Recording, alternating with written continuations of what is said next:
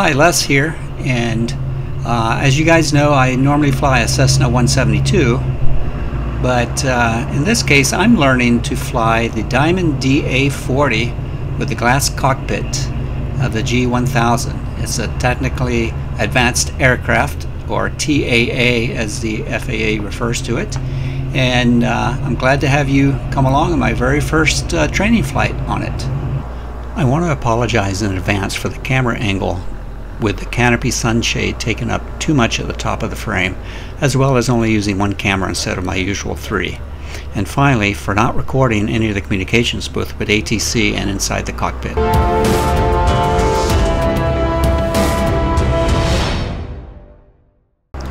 We're at the John Wayne Orange County Airport. Uh, that's KSNA, or Kilo Sierra November Alpha. It's a very busy uh, Class Charlie uh, airfield. Here I am on the roll, uh, waiting to get up to uh, rotate speed, which is right there at 59 knots. At this airport, you have to make a 15 degree offset to the left when taking off from this runway, which was 20 left. So there's my my slight offset. Uh, that's so we don't interfere with the airliners on 20 right. Once we get up to a safe altitude, I'll clean up the plane by taking out the flaps, turn off the fuel pump, and then configuring it for a VY climb. Up to this point, uh, the goal was to climb out the first 500 feet at, at VX, best angle, and then uh, transition to a VY climb. Uh, now we're turning uh, 080 toward the El Toro area, the El Toro VOR, which is a standard uh, departure from, uh, from this airport. So now I'm about to take out the flaps and turn off the electronic fuel pump. Meanwhile, my instructor is pointing out different things about the Garmin uh, G1000. This is where we started performing our maneuvers for the day. This one is a steep turn. It's a steep turn to the right in which I have to make a 360 degree turn. So it's a full circle at a 45 degree bank angle while maintaining a constant altitude, airspeed, and heading. Constant meaning at least within certain tolerances. Maintaining altitude of plus or minus 100 feet, airspeed plus or minus 10 knots, and the bank angle plus or minus 5 degrees. Oh, and you have to roll out of the turn at the same heading on which you entered the turn, plus or minus 10 degrees.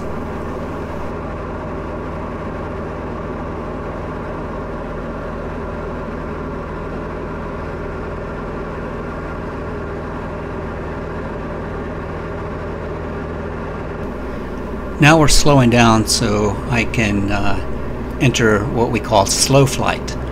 That's where we have uh, full flaps and we're at the slowest speed possible without stalling. The stall speed in this configuration on this airplane is about 49 knots and I will be probably going around 55, 57 knots. Uh, you know, you want to stay just above that stall speed flying at this slow of a speed uh, means your flight controls are a little less responsive and a little mushy, as they say. Uh, so everything has to be done uh, slowly and with some finesse. So here my instructor is telling me to uh, make a 180 degree turn, so just basically turn around and go the other way. So uh, I'm doing a, a small angle of a turn. I guess it's uh, compared definitely compared to, to the uh, steep turns of 60 degrees. I think I'm turning here possibly 10 degrees, 10, 15. I, it's hard to see what I was doing, but yeah, it was not even a standard rate. Uh, going at this speed, you want to just take your time and no no abrupt movements.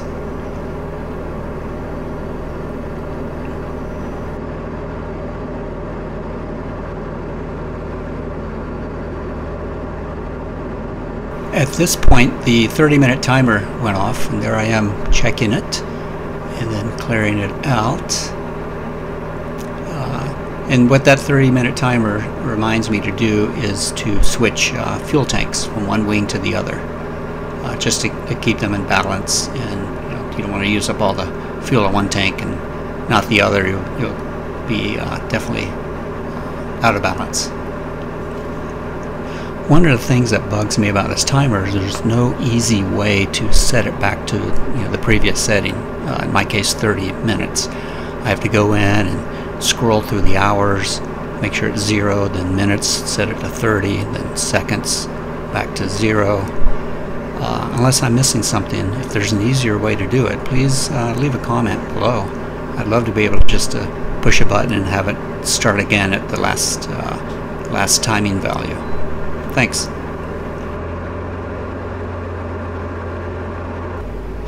Next up is a power off stall. So it's a low speed stall. If you notice my speed, I'm probably around 50 something now, but now I start to pull up. I'm pulling up, I'm pulling up, it starts to stall. I'm a little uncoordinated, uh, and then it, the stall breaks and we recover from that, pointing the nose down a bit, and then uh, leveling off and then climbing back out, adding power. Uh, here we are, we're going to try it again. This one's is more coordinated this time, and uh, we're pulling back, pulling back, and it breaks. We get the stall. We are basically just relieving pressure on the stick. Uh, not really pushing forward on it. Uh, we level off, we give it power, and we start our climb again. Now we're going to do what we call a power on stall.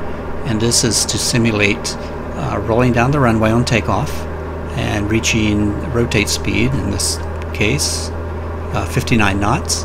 And then you pull back on the stick to take off. You're climbing you're climbing and for whatever reason you uh, you're climbing too steeply. So you're beyond uh, VX or best climb. You're you're you're at a very high angle of attack and it's to simulate a stall at, at takeoff under full power uh, in which the recovery process is just to uh, uh, bring the nose down get some speed and keep the power in so you can uh, uh, gain that speed and then continue your climb at a normal rate. Here we go, we're up, we're up, we're, we're about to stall. It's very hard to stall these things, or at least compared to the Cessna. And I'm pulling back, I'm pulling back. We're full power. Takeoff flaps, there we go, and it stalls. So it's basically let it settle uh, level and continue going and then uh, once you get enough airspeed start your climb again at a uh, reasonable angle here I'm doing it again we did a couple in a row so I'm pulling back I'm pulling back still pulling back it's it's tough to do and there that, that was a subtle break that was a little more subtle than the first one but uh, very good practice Alright, this is my very first approach and landing in uh, the diamond, so don't judge. uh, so here I am coming in, trying to control my speed. I did get a little slow, and you'll see what the consequences of that are. Uh, so I'm coming in, uh, again, pretty slow, and, I, am flaring a bit too soon, so we, we uh, kind of dropped and had a slight bounce. But you know, as they say, if uh, if, if I can walk away from this, it's a good landing. And if the airplane can uh, fly the next day, it's a great landing. So, must have been a, a great landing. Not really, but uh, for my first time, I'll take it. Uh, my next training flights uh, are going to include not only more landings, but uh, emergency procedures and such. So, yeah, thank you all for uh, joining me on my inaugural Diamond DA40 flight. And uh, I hope you'll join me for future flights. See ya.